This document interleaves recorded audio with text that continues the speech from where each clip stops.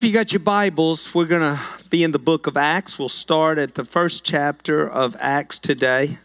You got your handout. Go ahead and get that out.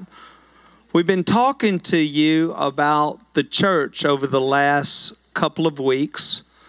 Jesus said, I will what?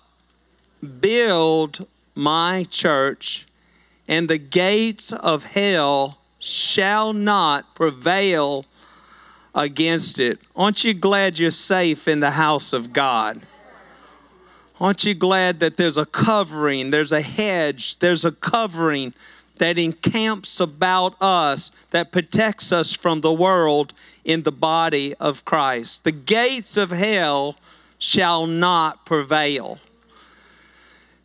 This is what we taught the first week on the church we taught on believing on the name of Jesus. Jesus asked his disciples, you remember, who do men say that I am?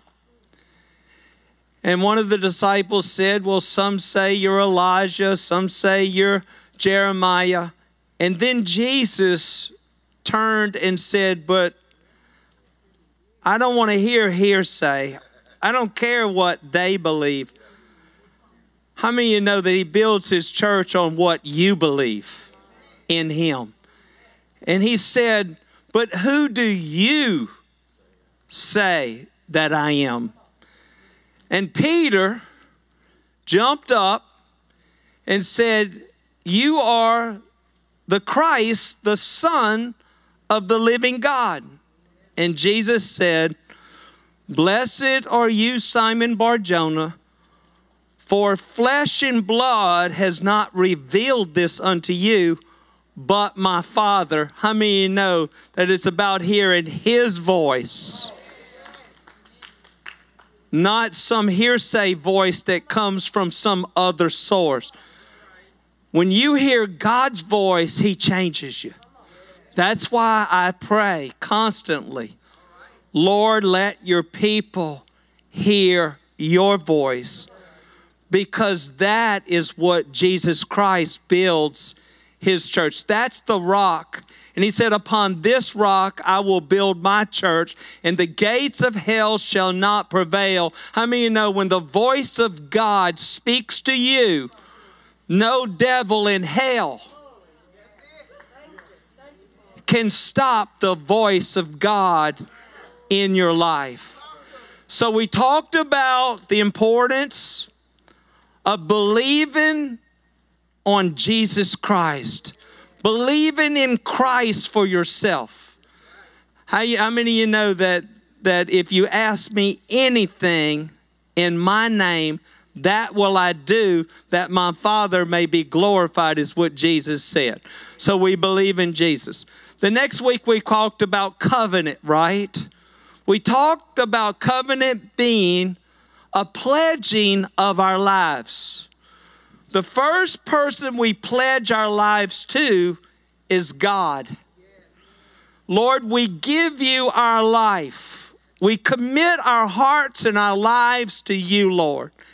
And then we covet, we covenant uh, with each other. The body of Christ. I tell you that I pledge my life to you, Miss Janice. My life is your life. We are one in the body of Christ. This is one body, one family. If you're hurting, if you're going through something, I'm going through something, I'm hurting, I'm with you. We are one in the body of Christ. So, covenant that's something that the church has got to get, get in their hearts with the fickle generation that we live in. It's almost like your word doesn't matter. Meaning I can tell you any old thing. But how many you know your word is you? And you can't separate you from your word. So if your word is not right,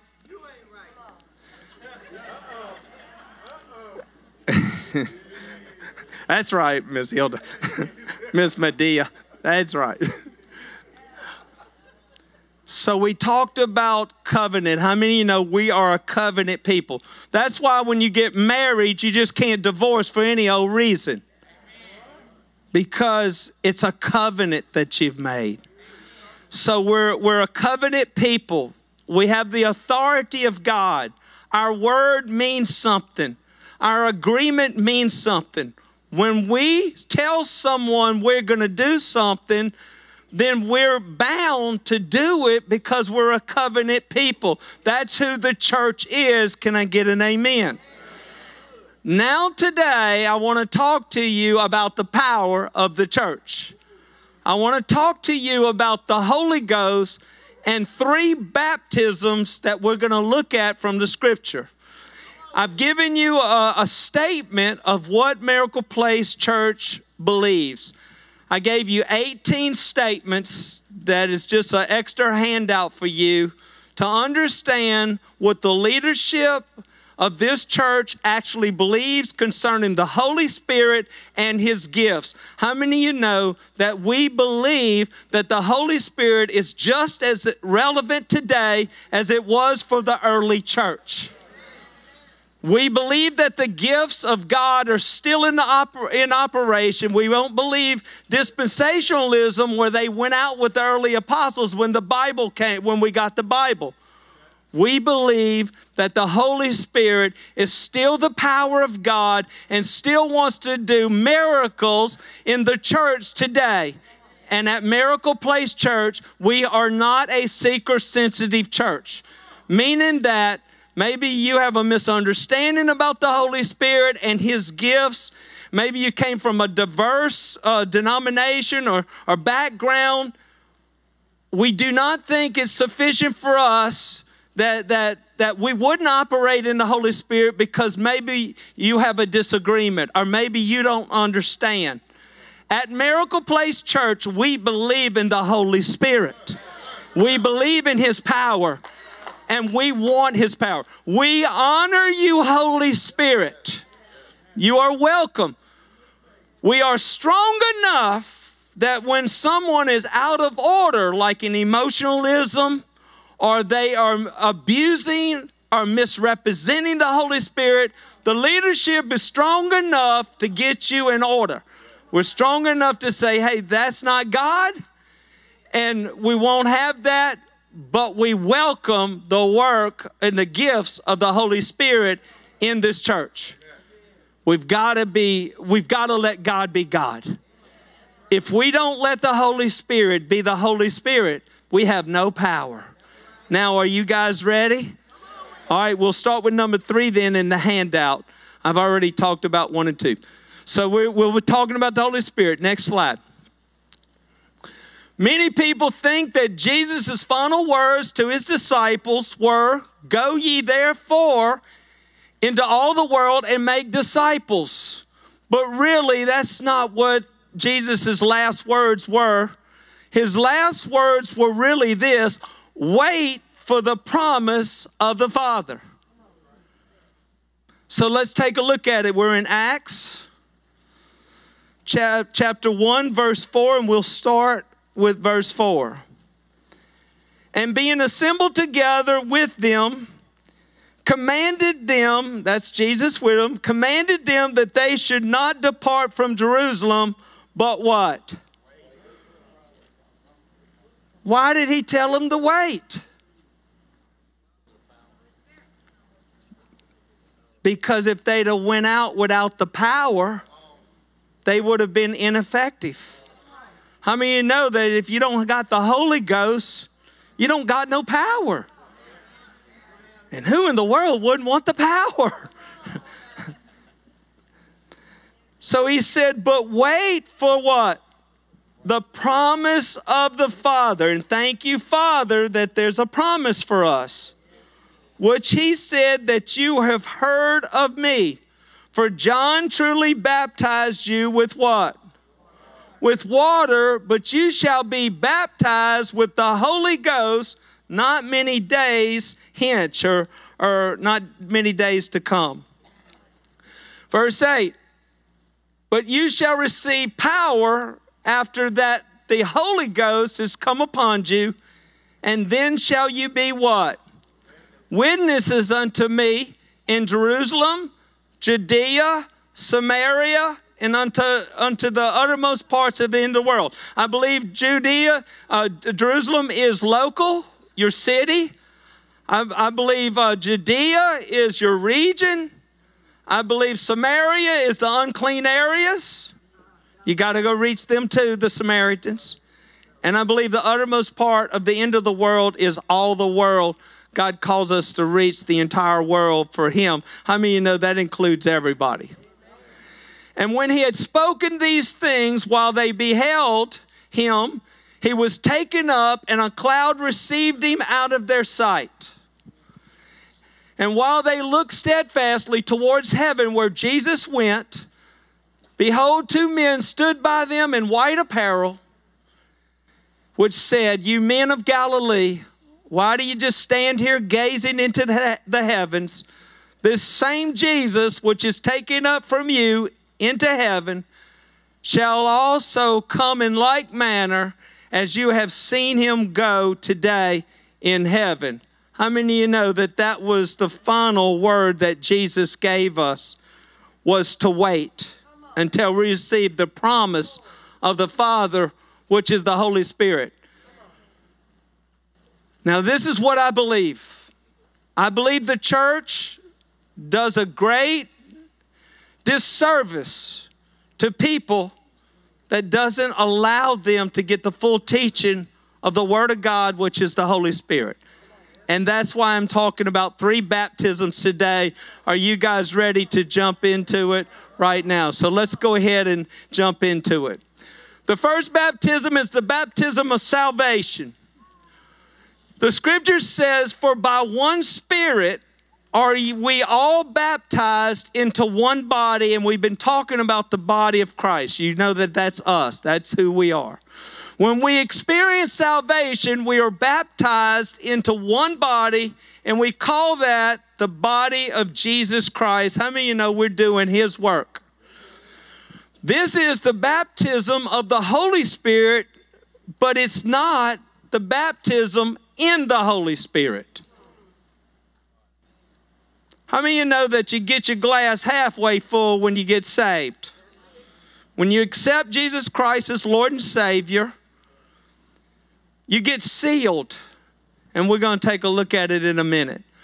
Baptism of water is what we call the second baptism, and that's after you've made Jesus Christ Lord and Savior of your life, and in obedience to Him, you identify with his death, burial, and resurrection. Therefore, you go down into a liquid grave. Come on now.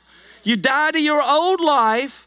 And by going down, you're buried with Jesus Christ. You're saying that I'm now in Jesus Christ. Jesus went down into the grave, and then Jesus Christ was raised, resurrection power from the grave. I'm following Jesus because now I'm saved. I've given my heart, my life to Jesus Christ. And when I come out, it represents the new life because if any man be in Christ Jesus, he's a new creature. Old things have passed away, and behold, all things have become new.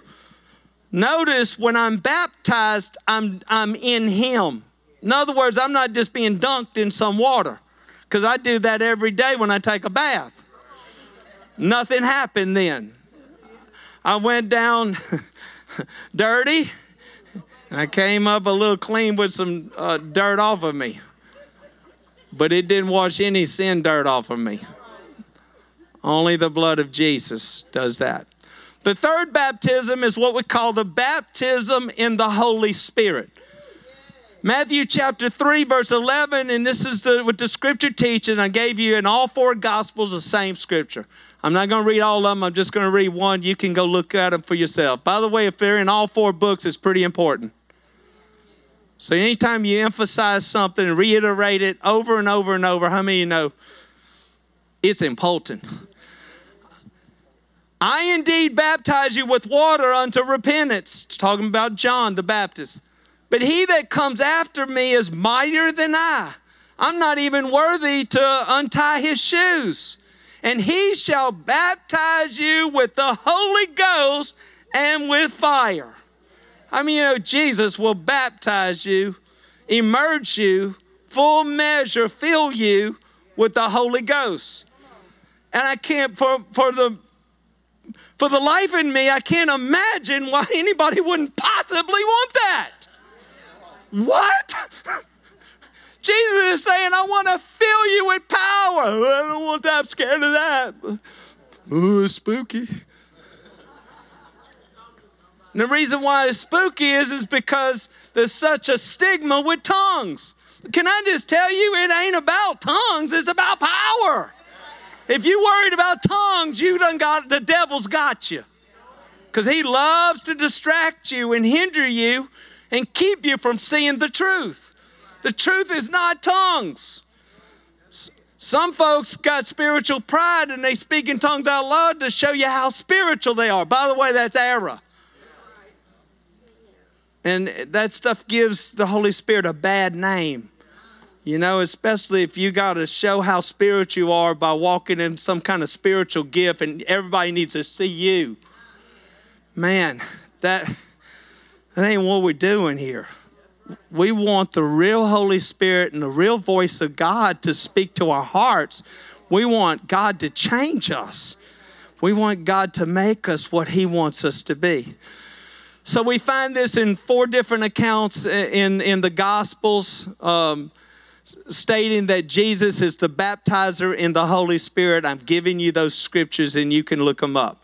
That's a very important doctrine. That's why it's in all four books. Same as it's an important doctrine about resurrection, death and resurrection. These are vital truths that believers have got to understand in order to walk in the fullness of God. Can I get an amen? That's why it's in four books. So, scripture clearly shows us that Jesus is the one who performs this baptism, emerging us in the Holy Spirit. This baptism has been harmfully misrepresented and many, and as a result, many Christians avoid it today because it's been misrepresented. How could Jesus Christ baptizing us in the Holy Ghost possibly be a bad thing? I'll say it again. How could it be bad? It's misunderstood. That's the reason why. Gotten focused on tongues and feeling like it's crazy and some kind of way that it's stupid because your mind doesn't understand it. I told Jeannie a long time ago if you don't understand something in the kingdom of God, put it on a spiritual shelf, and later on, God, if He chooses, will pull it off the shelf and show it to you and put it in your life. Until then, don't run a touchdown. Don't worry about it.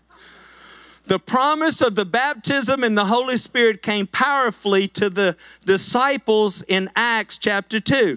Because you remember Acts chapter 1, he said to wait for the promise. Now the disciples and Mary were in the upper room and praying and interceding. They were scared. They were scared they were going to get crucified. Then all of a sudden, the Holy Spirit came into the room like as cloven tongues and sat upon their head, and all of them were filled with the Holy Spirit. When they got filled with the Holy Spirit, Peter took the boldness that he got from the Holy Ghost, and immediately he goes out of the room because he received the promise of the Father. He waited for it and he got it. Now the boldness and the power of God is in him. And now he comes out ready to preach. He preaches a sermon, and 3,000 people on the day of Pentecost get saved. You better shout, somebody. He preached a word that was not just a man talking, it was God talking through him. And when he spoke, because it was the Holy Ghost, it cut them to their heart. The Bible says it pierced, it cut them to the heart. And when it cut them to the heart, it started changing them, it started working on the inside of them because God starts working because it's him and not a man, it's his power. And they asked, What must we do? And that's when you get the teaching, the first teaching today on the three baptisms. Look what Peter said. Peter said unto them, You got to repent, you got to be water baptized, and you got to receive the Holy Ghost. The first baptism then is repentance, it's salvation. As soon as you accept Jesus Christ, you're baptized into the body of Christ. Are y'all out there? The next thing it says you got to be water baptized. Peter teaches them now that we, we are saved and we have to follow the example of Jesus Christ by being water baptized. This is the second baptism. And then the third baptism is this accept the gift of the Holy Spirit. I'll give you the scripture. I'm in Acts chapter 2, verse 38. It says, Repent and be baptized every one of you in the name of Jesus Christ, and you shall receive the gift of the Holy Ghost. The three baptisms repentance is salvation. Water baptism is the second baptism. Follow an example of your repentance, that meaning that you're going to follow Jesus from now on. And then he says there's another experience that's separate from salvation experience, which is called immersion in the Holy Ghost. And this is the baptism of the Holy Ghost. So once you've been saved, once you've been water baptized, and not necessarily do you have to be water baptized to be filled with the Holy Ghost, because Cornelius' household in Acts chapter 10, they were baptized in the Holy Spirit and speaking in tongues before they did water. Because once they heard them, and these were Gentiles, and, and Peter, uh, Peter and, uh, was amazed. He said, "Man, God is falling even on the Gentiles, like we looking like we're some kind of lower class." But then he said, "What forbids them to be baptized? For they have received the Holy Spirit, just like we have Jews." I mean, you know that God's included the whole world in this promise? The promise of the Father is to the world. That's why He says, uh, The promise is unto you and to your children and to as many as as far off will come to the Jew and to the Gentile, to the bond and the slave, for male and female, everybody. There's the promise. God doesn't withhold his power from anybody. The only way we don't receive the power of the Holy Spirit is, is we have to choose to receive it. If as a free mortal agent I don't choose to receive it, then you can be satisfied with a gown of salvation if you want. I'm I want all the gusto. I'm going after God with all my heart. I want every bit that God has for me. I'm going after the Holy Ghost. I want God. I want all of God my life. And I would just absolutely say, What in the heck would be wrong with you? Except that the enemy would try to make it spooky and make, make you feel like, oh, something's wrong or you're going to get the wrong spirit. Man, look, if you ask your father for some bread, is he going to give you a snake? Is he going to give you a scorpion? A rock? Yes. That's what the scripture says in Luke chapter 11. Then we look in uh, Acts chapter 8. This is Philip. Y'all remember Philip? Philip is an evangelist. Philip is in Samaria. He's preaching under the power of the Holy Ghost. And when he gets there, a revival breaks out. But when they believed Philip preaching the things concerning the kingdom of God in the name of Jesus, they were all baptized. How many? Men and women. All right, so let's take a look at it. Verse 12, you got your Bibles? I want you to really see it. We're in Acts chapter 8, and I'm slowing down a little bit because I really want you to see all three baptisms that was taught in the early church. I do not think that dispensationally, the Holy Ghost was only for one dispensation. I believe the Holy Ghost is for the whole church dispensation. I believe this is the power of the church.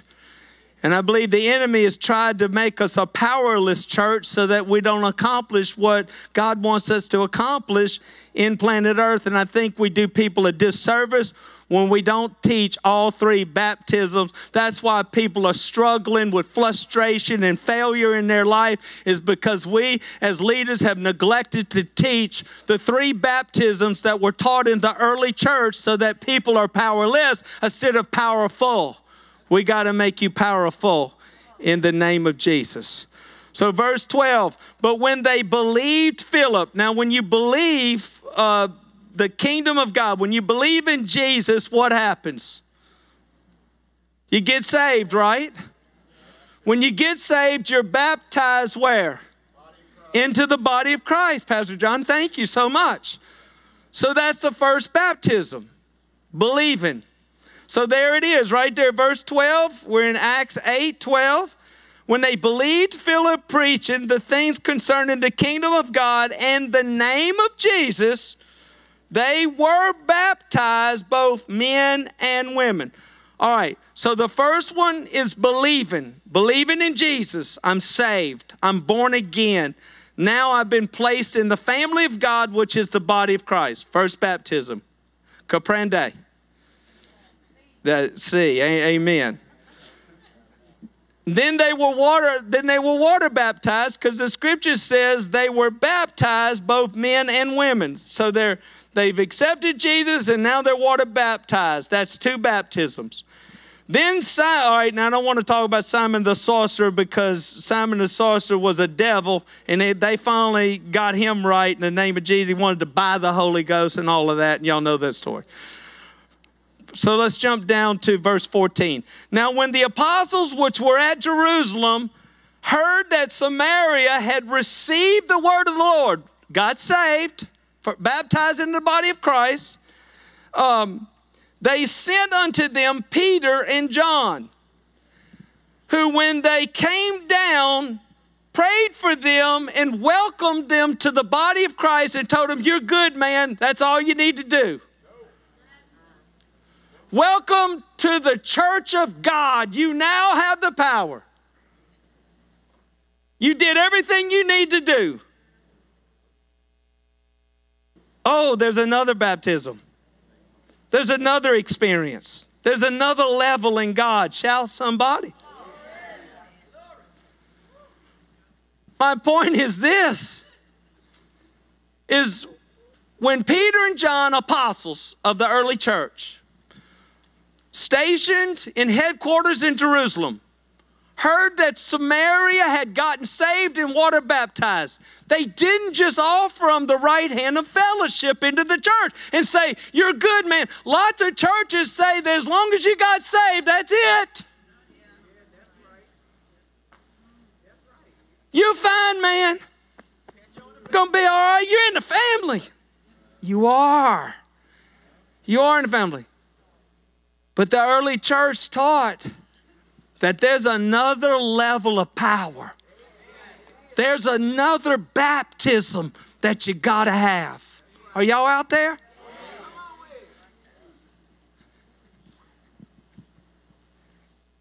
And they prayed for them eh, that they might receive the Holy Ghost. Somebody said, Well, wait a minute, I thought that they had the Holy Ghost. They did have the Holy Ghost, they were in the church.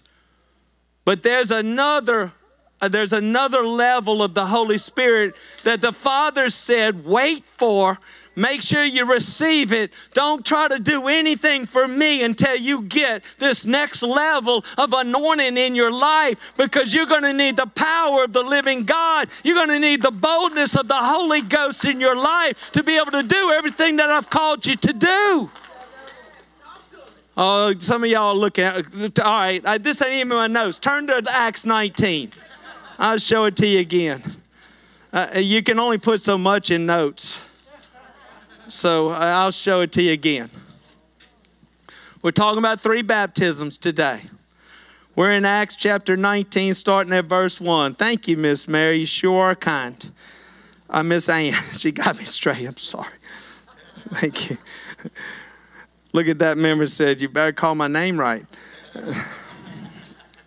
and it came to pass that while Apollos was at Corinth, Paul had passed through the upper coast, came into Ephesus, and finding certain disciples. Who did he find? Are disciples believers? Are they saved? Now, watch what he asked them. He said unto them, have you received the Holy Ghost since you believed? Look what they said. We have not even so much as heard uh, uh, whether there is a Holy Ghost. He said, Well, then, What in the world were you baptized unto? Do, unto? And they said, Well, we were baptized unto John's baptism, which what? He, he says in verse 4 Then Paul said, John verily baptized with the baptism of repentance, which is right, saying unto the people that they should believe on him which should come after him, and that is Jesus is the baptizer of the Holy Ghost, and he is Christ Jesus. There's another level. Verse 5 And when they heard this, they were baptized in the name of the Lord Jesus. And when Paul had laid his hands upon them, the Holy Ghost came on them, and they spoke with tongues and they prophesied. And all the men were about 12. Believe on Jesus, baptized into his body. Water baptized to identify with that experience. Now there's another experience receiving the Holy Ghost which is the power of God that will emerge you and totally fill you with His glory to do His work. I'll quote it. John, I'm getting off my lesson, but I'm just going to quote a little bit. John chapter 4. Jesus said to the woman at the well of Samaria, He says, Girl, the water that I'll give you will be a well springing up in you unto everlasting life. That's a new birth anointing.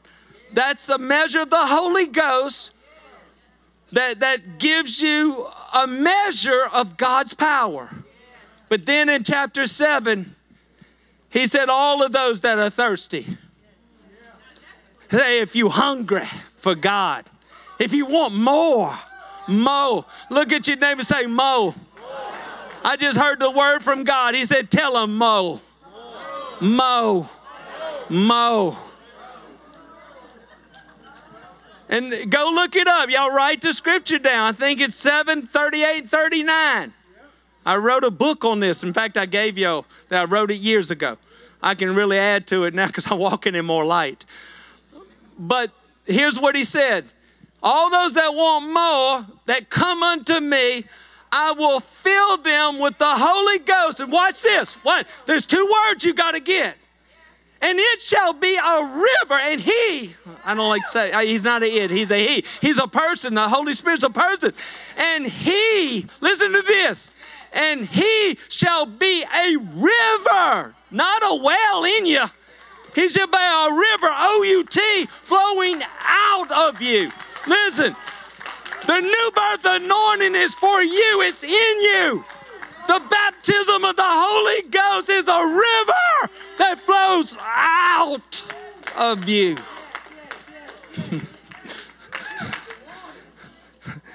and I'm going to give you one more scripture. We'll turn to 1 John chapter 5 verse 7. He says there are 3 that bear record in heaven. Now look, you got to understand. We're going to talk in these two verses heaven and how it's represented, who bears record there. And then it says there are three in verse 8 that bear record in the earth. Where do you live? Oh, hallelujah. That, then that means earth is going to be for you. So he said there are three that bear record in heaven the Father, the Word, and the Holy Ghost. And then he says there are three that bear record, verse 8, on earth. That's where I live. I need that witness. They bear witness. Record, Father, Word, Spirit, Holy Spirit. Witness, Spirit, water, and blood. How many of you know you're bought by the blood of Jesus? That's salvation. How many you know that you're baptized in water? That be water. That's the witness. And how many you know that you're filled with the Holy Ghost? That be the Holy Spirit. So, the three witnesses on earth that identify the three baptisms on earth, you better shout with me, is spirit, water, and blood. And these three bear witness in the earth.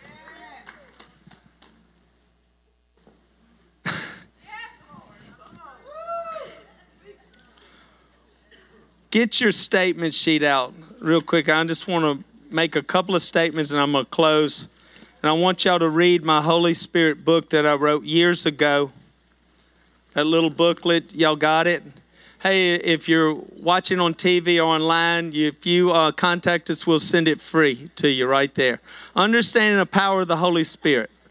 I wrote it years ago. Reason why I wrote it is because so, so many people were so spooky about tongues and freaking out over tongues that I wrote a book saying it ain't about tongues, it's about the power.